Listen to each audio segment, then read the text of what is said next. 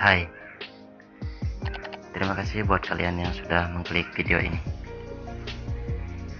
Di video tutorial kali ini Saya akan berbagi trik Bagaimana cara mengatasi Login Facebook dinonaktifkan di aplikasi Like Motion. Banyak teman-teman yang mengeluh Bang Kenapa login Facebook saya dinonaktifkan di aplikasi Like Motion kita langsung saja membahas tutorial cara mengatasinya. Dan contoh kasusnya adalah seperti ini. Dan bagaimana cara mengatasinya? Silahkan teman-teman simak video ini sampai akhir biar bisa dipahami.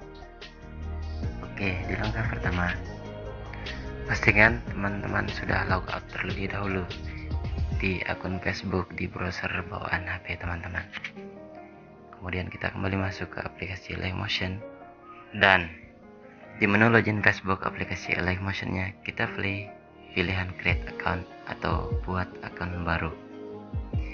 Nah di sini kita akan diarahkan untuk membuat nama akun. Tapi teman-teman pilih yang paling bawah yaitu already have account atau sudah punya akun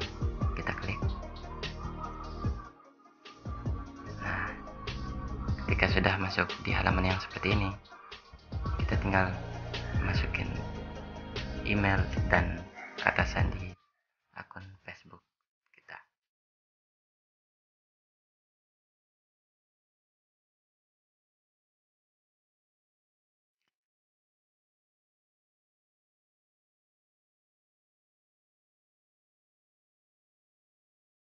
Setelah selesai lalu kita klik login kita klik login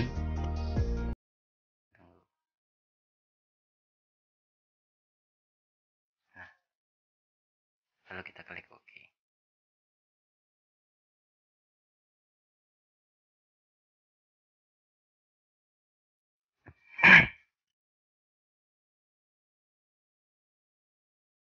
Dan kita berhasil login ke akun Facebook.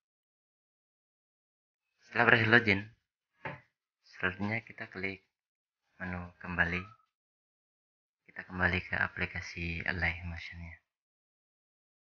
Kita pilih pada pilihan login dengan Facebook. Kita klik. Dan di sini kita tinggal memilih continue atau lanjutkan. Kita izinkan pada aplikasi